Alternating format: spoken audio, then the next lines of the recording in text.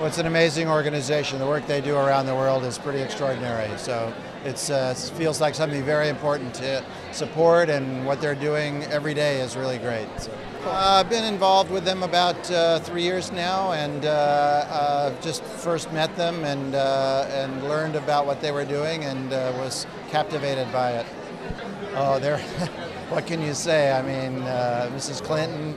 I mean, it's an amazing group of honorees. So the fact that they're out here and supporting this event and this cause is just great, and it really helps to raise the level of awareness.